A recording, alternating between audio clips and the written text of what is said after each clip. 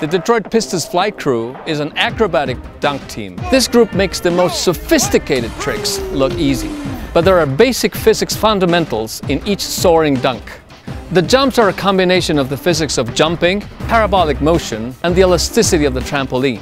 Put it all together, and with a little skill, you can slam dunk from about 13 feet high. That's the combined height of Brandon Jennings and Andre Drummond. Now let's break down the physics of jumping from a standing position. The basic concept here is conservation of energy.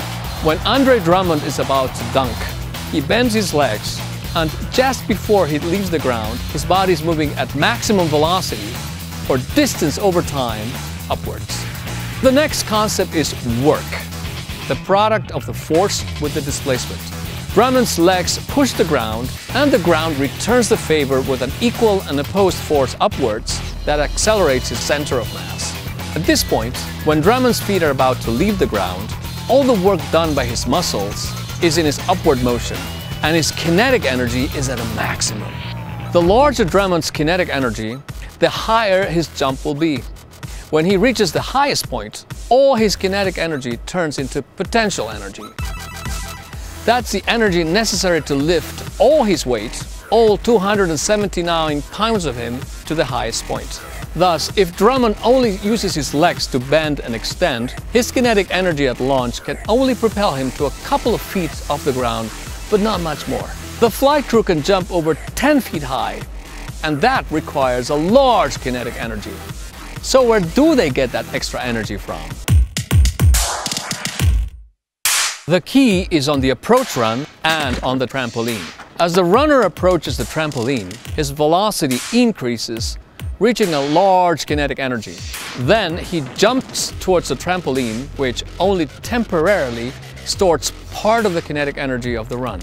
Part of the kinetic energy of the horizontal motion is converted into potential energy stored on the springs and on the surface of the trampoline. An instant later, the trampoline gives back the stored energy in the form of vertical motion. With the help of the trampoline, the runner splits the horizontal approach run into a vertical portion and a smaller horizontal portion. This energy exchange takes less than a second. That's faster than the second it takes for Drummond to explode from the floor to the rim for a monster dunk. Hard slam. For the energy exchange to be effective, the flight crew must hit the trampoline at the optimal angle. A jump from the appropriate distance will cause the body to lean backwards ever so slightly when it hits the trampoline. It is as though the center of mass has reflected from the trampoline. The remaining horizontal velocity with the vertical accelerated motion results in parabolic motion. The horizontal velocity remains constant during the jump in midair. When the flight crew reaches their highest point, the vertical velocity is zero. To give you an idea of how quickly this all happens, flight crew member Tornado rotates 720 degrees, complete with a dunk, in about two seconds.